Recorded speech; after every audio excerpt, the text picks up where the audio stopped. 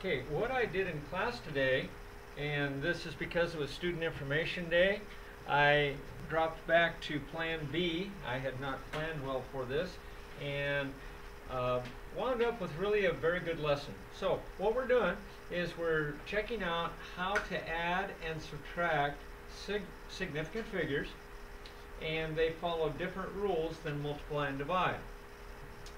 But addition and subtraction both follow the same rules. So let's go ahead and look and see if you can add up these numbers. Okay, would you, um, uh, I'd like you to stop the, report, the recording and add up these numbers and see how you do with it. And then we'll go from there. So, what I did in class today is after everybody taking their try at it, we went ahead and did this. Uh, I actually added everything up to let you check and see what you've done.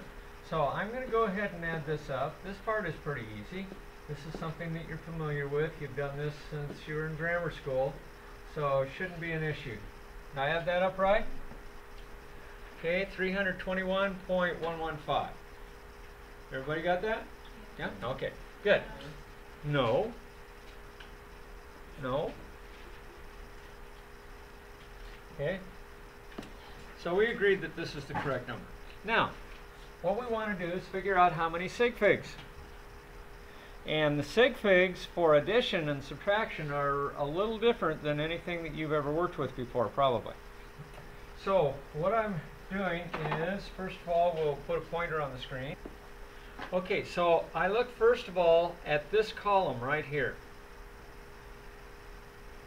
Now, on the first row, do we have something in this column? Yes? Okay, we have the 5. Do we have anything in this column on the second row? No. Okay, so we have to go to the second to the next row over, or I'm sorry, the next column over, and we're going to look here. Do we have something on all rows? We do not. So we go to the first row that has numbers in each row. So this is where we're actually going to draw the line, and this line will indicate where the sig figs can go to. Sig figs to the right of that are not sig figs anymore. So for this guy, this and this, we lose their accuracy. Why? Because this guy is not as accurate as this guy is. Okay? And this guy here is not as accurate as this one is. So we draw that line to indicate where the accuracy is coming to an end. And now we go back and we look and we say, all right, let's go to the right of the line and see if that is a number that is 5 or greater. It is not, so we're not going to round up, we're just going to lop the whole thing off. And what we end up with is 321.1. All of those are sig figs, and we'll see why in just a minute. So, we now want to put this guy in the scientific notation. So, what's he going to look like in scientific notation? Where's the decimal going to go? Yeah, it's going to be 3.21. Here, let's move this over. So that, here we go. Move this guy over so it lines up. I love being able to do that. 3.211. And so you can see we moved it one, two times. So what's our power of 10 have to be? 10 squared, right? And that's our final answer given to the right number of sig figs. Okay? Remember, we always have to, when we put in a power of 10, which we put in the 2 here, we have to see how many places we moved it over, and then we have to put it uh, we have to put it back. Ooh, that's 10 to the minus 2. I moved the wrong. Uh, we got to get the number back, or we got to get the decimal back here because that's where it was originally. So this is 3.211 times 10 to the minus 2. Did I lose anyone? Yeah, question.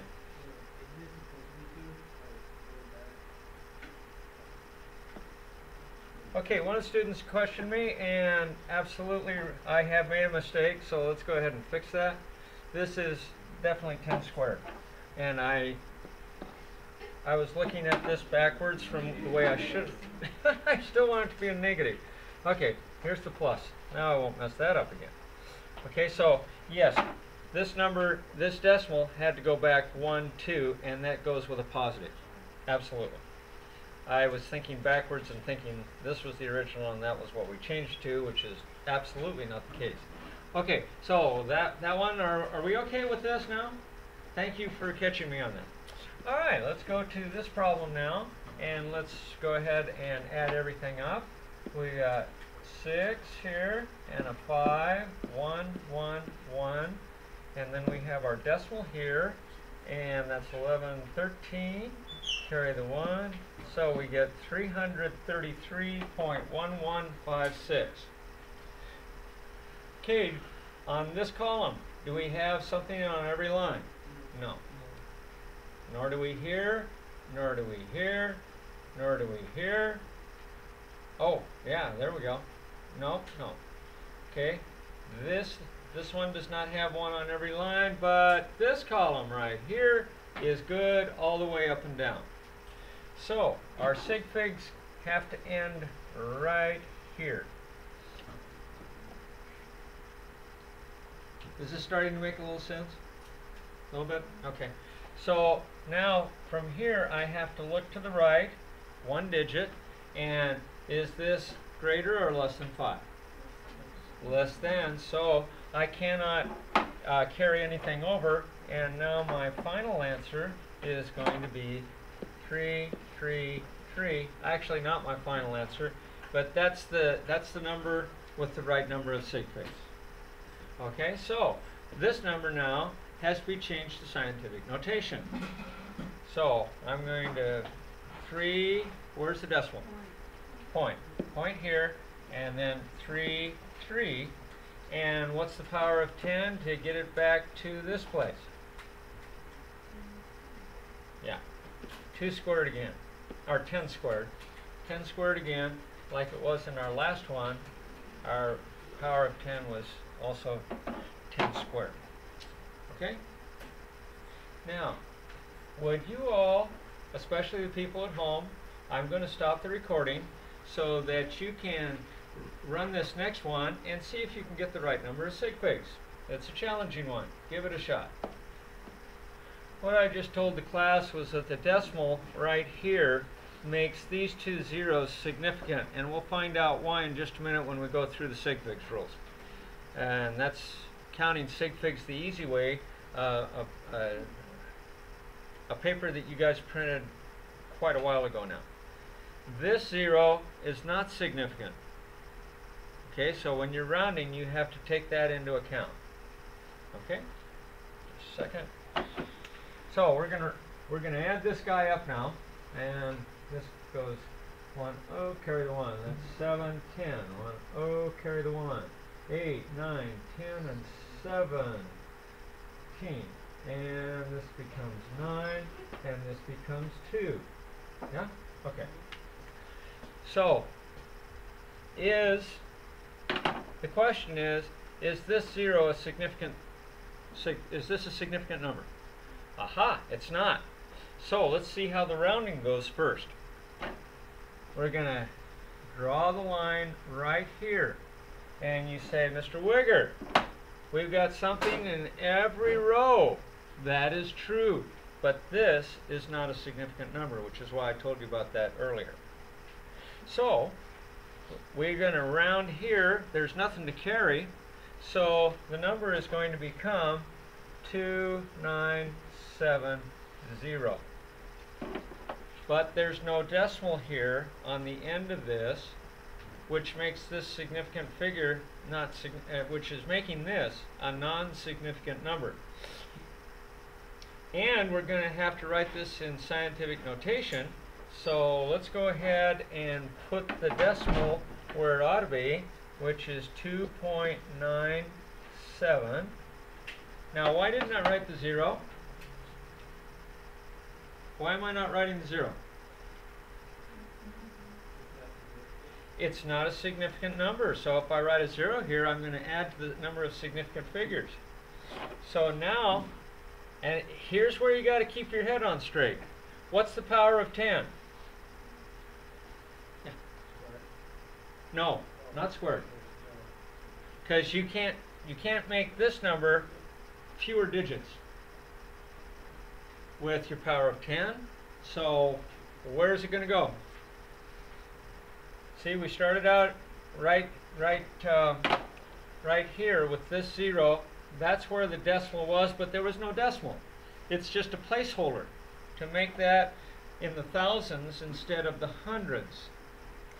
But when we write the number here, we cannot write the non-significant numbers. So the power of 10 has to make up for it, and the power of 10 then would be cubed, absolutely. And so this would be our final answer.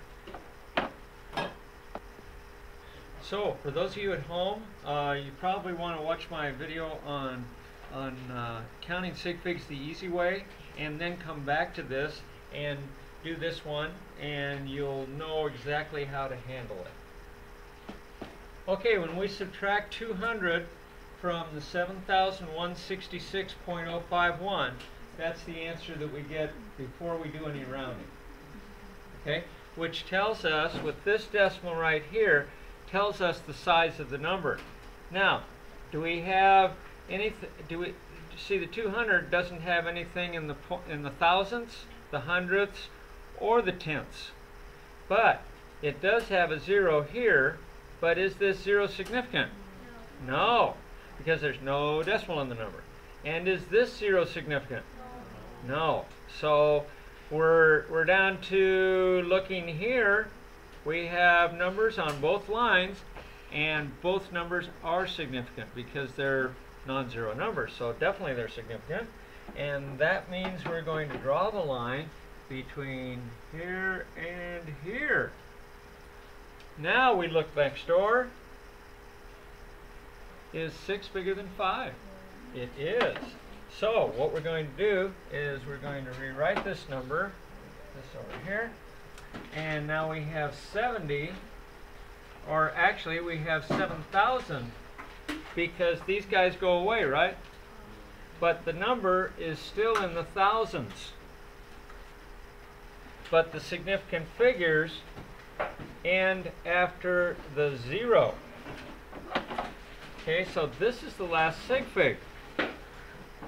But we can't put a decimal here, can we? Because we changed the size of the number. So, what we do is we rewrite this in scientific notation as 7.0. See, I'm taking this zero right here and calling it significant by putting the decimal in. And then I have the times, and this would be 10 to the what? 10 to the third. And that is it, folks. That's how we do it. Thanks for watching.